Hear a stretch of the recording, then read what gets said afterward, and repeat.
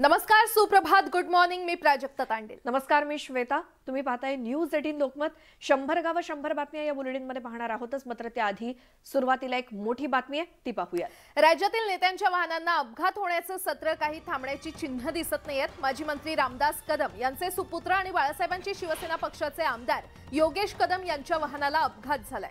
शुक्रवारी रात्री सव्वा दहा वाजण्याच्या सुमारास पोलादपूर जवळच्या कशेडी घाटामध्ये चोळई इथे हा अपघात घडला आणि या अपघातामध्ये सुदैवानं आमदार योगेश कदम बचावले असून चालकाला मात्र त्यांच्या किरकोळ दुखापत झाली आहे. तर आमदार योगेश कदम हे खेडकडून मुंबईला निघाले असता मागून येणाऱ्या टँकरनं त्यांच्या कारला जोरदार धडक दिली. यानंतर टँकर पलटी झाला आणि चालक पळून गेला. आमदार योगेश कदम यांच्या गाडीला अपघात झाला आणि अपघातानंतर ज्या टँकरची या गाडीला धडक बसली त्याचा चालक पळून गेलेला आहे. मात्र योगेश कदम हे सुखरूप बचावलेले आहेत. त्यांच्या ड्रायव्हरला मात्र किरकोळ दुखापत झाल्याची बातमी. मुंबईला जात असताना माझ्या गाडीचा ॲक्सिडेंट झाला होता. रात्री सव्वादाचा सुमारास हा ॲक्सिडेंट झाला. परंतु आई जगदंबेच्या कृपेने आपण सर्वांच्या आशीर्वादाने मी माझे सर्व सहकारी आम्ही ह्या ॲक्सिडेंटमधनं सुखरूप बचावलेलो आहोत. आपण कोणीही आमची चिंता करू नका.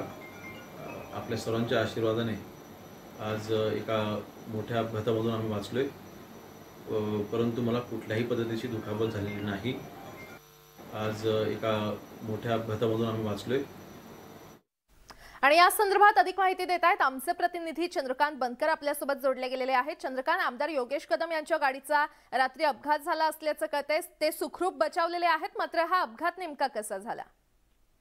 नक्कीच कारण हा अपघात नेमका जो आहे तो ज्या ठिकाणी अपघात झाला आपण एक लक्षात घेतलं पाहिजे की कशेडी घाट हा गेल्या कित्येक दिवसांपासून मृत्यूचा सापळा म्हणून ओळखला जातो.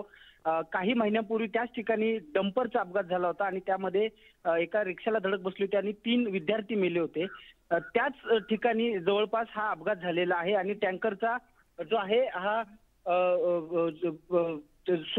भरधाव वेगाने जो आहे तो टँकर पोलादपूरच्या दिशेने जात असताना आणि तो कचडी घाट उतरत असताना पोलीस सुरक्षा असताना सुद्धा आमदार योगेश कदम च्या गाडीनं त्यांनी धडक दिली आणि त्यामध्ये सुदैवानं मोठी हानी झाली नाही. आमदार योगेश कदम हे सुखरूप आहेत आणि त्यानंतर त्यांचा जो ड्रायव्हर आहे दीपक कदम त्याच्या मात्र काही ठिकाणी त्याला गंभीर इजा झालेली आहे डोळ्याला लागलेला आहे. त्यांना तात्काळ प्राथमिक आरोग्य केंद्र आहे त्या ठिकाणी. नजीकच्या शासकीय रुग्णालयात प्राथमिक उपचार करून नंतर मुंबई येथे ते गेलेले आहेत.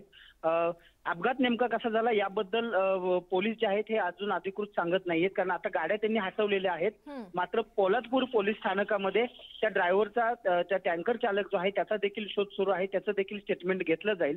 परंतु योगेश कदम यांच्या गाडीला जो अपघात झाला त्याच्यामुळे रत्नागिरी आणि रायगड जिल्ह्यामध्ये देखील राजकीय गोष्टीमध्ये देखील मोठी एक हादरवणारी ही घटना होती आणि महत्वाचं म्हणजे हा अपघात आहे की आणखी काही अशी चर्चा देखील कार्यकर्त्यांमध्ये. सुरू आहे रात्री अनेक कार्यकर्ते जे आहेत हे देखील घटनास्थळी खेड असेल. दापोली असेल मंडणगड असेल इथले कार्यकर्ते शेकडो कार्यकर्ते देखील पोलादपूरला काल. मध्यरात्री रवाना झालेले होते निश्चितच चंद्रकांत धन्यवाद या सविस्तर माहितीसाठी